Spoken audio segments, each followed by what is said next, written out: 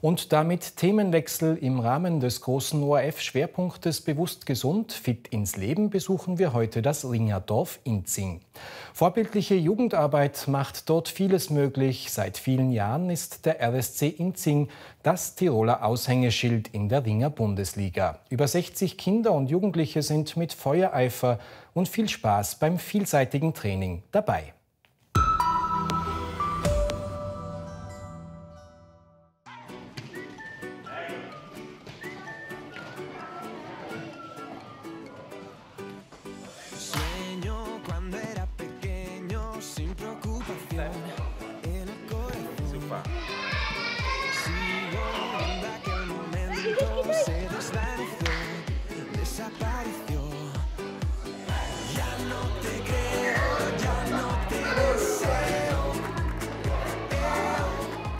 Besonders wichtig ist bei den Kleinen äh, Spiel und Spaß, sage ich mal. Spaß an der Bewegung und dass sie es einfach gern machen.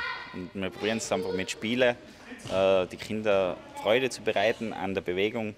Das ist unser Ziel.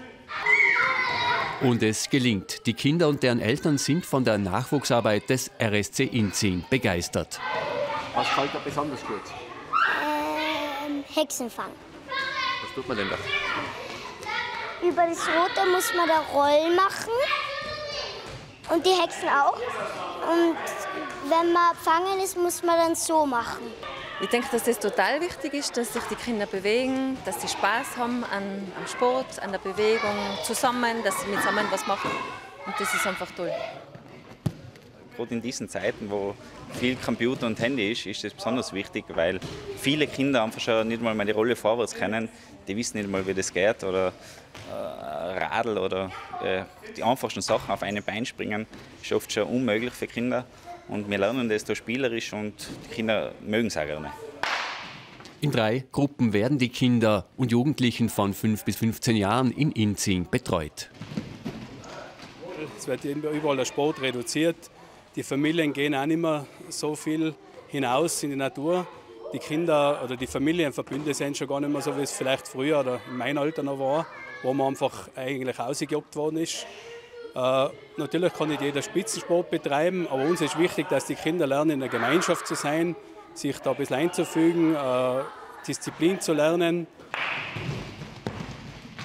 Wir versuchen, dass wir so viel wie möglich Jugend zu uns in den Verein bringen, weil wir glauben, dass die gesamte Ausbildung, die ganzheitliche Ausbildung einen extremen Wert hat und dass die Jugend von heute eben leider Gottes in der Freizeit relativ wenig macht und bei uns kriegen sie halt die Möglichkeit, dass sie sich richtig austoben können und Sport treiben. Und so ein jahrelanges Training kann später auch bei anderen Aktivitäten durchaus nützlich sein. Also bei mir ist es so, dass man eben schon ein, zwei mit dem Radl aufgestellt hat und nachher habe ich einfach inzwischen so Reflexe, dass ich mich automatisch schön abhole und nachher nicht wirklich viel passiert ist. Ich habe gelernt, wie ich mit meinem Körper umgehen kann. Ich habe verschiedene Sachen gelernt und es hat mir viel gebracht. Ja. Die Bärchen.